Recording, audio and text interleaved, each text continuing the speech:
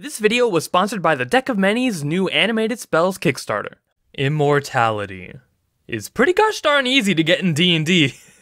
a lot of people have fantasized the idea of making a character that's physically impossible to kill, but they either overcomplicate the process, fail at making a completely immortal PC, or just make a 25 armor class paladin. And those are all fine attempts, but to be truly immortal, we need to know what the exact definition of immortality is. The ability to live forever.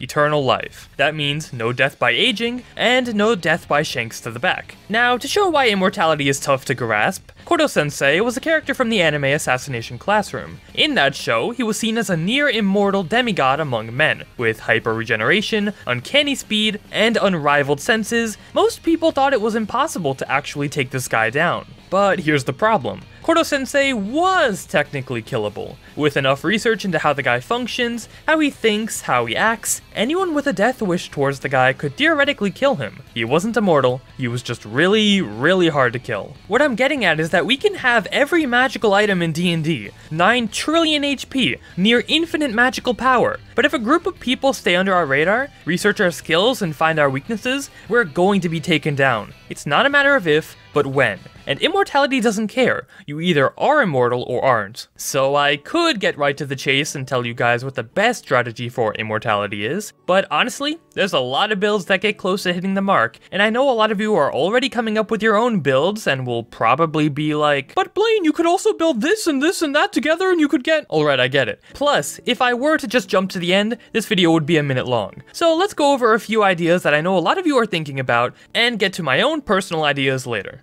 Number 1. This is going to be one of the easier setups to achieve. An 11th level monk can use a ki point every time they die to return from death at 1 HP. At 20th level, you could use this skill 20 times. Along with that, going a half orc could grab you another skill which can save you from death, so in the end, you're looking at 21 instances of infinite health. That's pretty strong, but it's not nearly close to immortality. The power's finite, and once we run out, we're just like everybody else. Flimsy and not immortal. So class features can't help us. What about unlimited magic? Spellcasters have tons of different spells they can use, and it shouldn't be surprising to know that one of them is invulnerability. Essentially, for 10 minutes you're immune to all damage. That's cool and all, but what if we cast this spell every 10 minutes for 24 hours? Well, to start, we need around 4 million XP in order for this to work. You see, after 20th level, players looking to continue the game can begin to collect boons, godly abilities that break the game even further. The Boon of High Magic can give us an extra 9th level spell slot. Now all we need is to choose this boon 143 more times, and with every 30,000 experience earned, we can grab another. Did you somehow gain 4 million XP and aren't completely dead yet?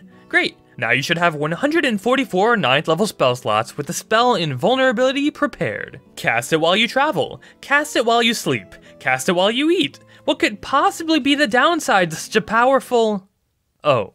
Well, with spell components in mind, you'll just be burning through 72,000 gold every day. Not only that, but just because you're invincible doesn't mean you're unstoppable. All it would take to shut you down would be a thief capable of stealing your gold, or a group of wizards with dispel magic. Once again, you're not immortal, just really hard to kill. Now, before we move on to my personal favorite strategy, allow me to go over some honorable mentions. Using a wish spell for immortality. That could work, but remember that most people see Wish as the ultimate Uno reverse card. Depending on your DM, using Wish could either completely backfire, lack enough power to offer complete immortality, or just flat out work. In the end, Wish is up to the DM's homebrew, and because of that, it's too random to even consider viable. The boon of immortality? Well, it allows you to prevent aging, but the name is just fancy talk to make it more appealing. You can still die to knives in your back, so there's nothing immortal about it. Becoming a god for immortality? Definitely not. The most well-known trait of gods in D&D is their ability to die. The demon god Orcus knew a word so powerful it could kill gods just by saying it. So no, not even gods are immune to death, which is the biggest paradox I've heard all year. So what can you do to become completely immortal in D&D?